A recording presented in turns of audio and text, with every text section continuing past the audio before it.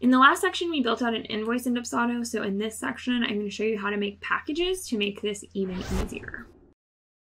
To build packages, we're going to head back over this template section. We're going to use this section so much when we're getting set up. And if this is starting to feel like a lot, I just want to remind you to push through with some of these things.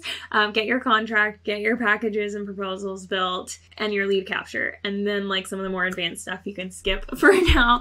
Um, but some of these beginning things, once you get them set up, they will really start working for you. And remember that once you set up your packages, you don't have to do it again. Once you set up your lead capture, you don't have to do it again. So all of this is going to start working for you.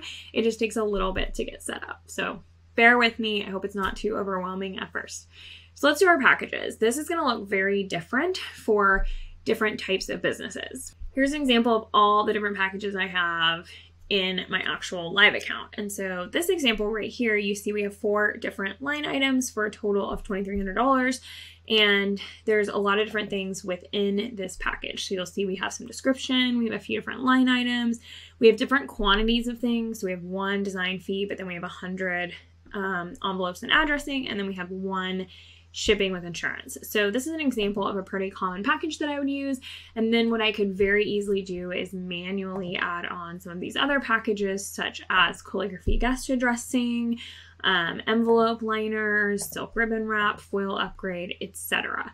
And all of these packages you can move around so that when you're actually using them, the ones you use the most will be at the top. They're not automatically in any kind of order, um, but you can actually move them around for what's going to be the most convenient for your business. Now, if you're a stationary designer, you might find this a little overwhelming because there is a lot of different options. So, this is an all in one package that has like three piece invitation design, printing, and addressing. And we've got all the details on everything that's included in there. We also have this more like basic package that has everything itemized out. So there's a few different ways you can do this. What I like to do is set everything up um, at 100 quantity so, because that's the most common quantity that I use, you could also set up the exact same packages at, you know, 50, 75, 100, 125, etc. and encourage people to only buy um, buy that quantity. I typically will go in and I'll send them the 100 if they're anywhere close to 100, and then I'll go through and update the quantities for them because it really doesn't take that much work once you have the packages built out. So, how do you do that? Set back to our demo account and click Add Package and then we'll edit our name. So we'll say like stationery package. And then we'll just add our line items exactly as we did on the invoice. So design fee.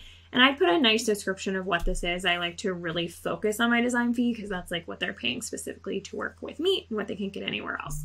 Um, so I put a nice description in here for that um, one, and we'll say that's $1,500. And maybe this doesn't need tax because it's a non taxable service. That's going to depend on your tax code where you are and what the line item is. We'll add our item here.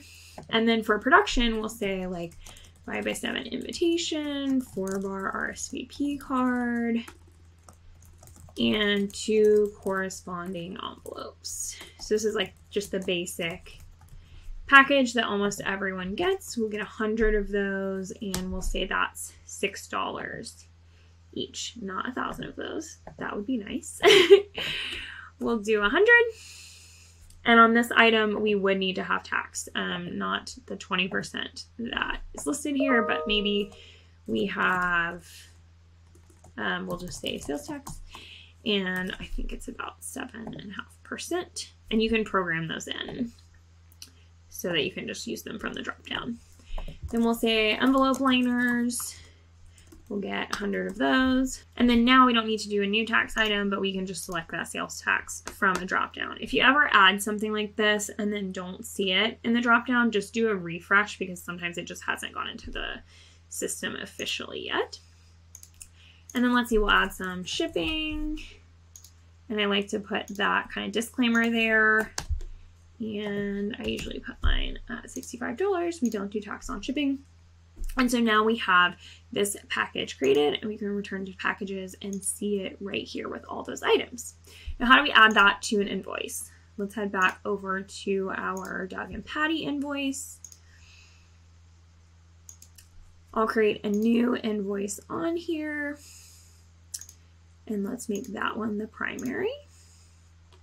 Now we have this blank invoice. Again, we can always add the line items, but if we go to packages, we'll see all of our packages in the order that we put them in. So we can click stationery package and all of those line items exactly as we put them in are already on here. Now just imagine if we have this and we also have our existing payment plans, so we can just grab one of those. The invoice is so easy to create. So that's why when you put up the work up front with Dubsado, it's really going to save you so much time and energy. And then it's really easy, like say they're, they need 110, it's really easy to go in here and change it. Change just these two line items to 110 one thing I'm I have been asking Dubsado for for years is the ability to change multiple quantities at once.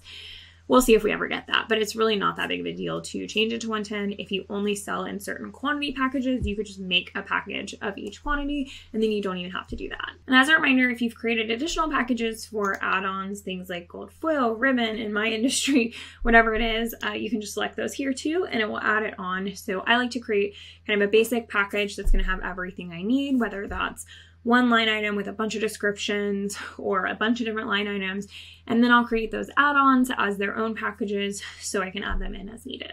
You'll see another reason why packages in Dubsado are so powerful in our next section where we go into proposals. I'm super excited because this is going to put this whole proposal contract invoice section together for you and you'll start to see how just all the magic starts working together to save you time and energy and make you more money. Okay, so and join me in the next one for more info on Dubsado proposals.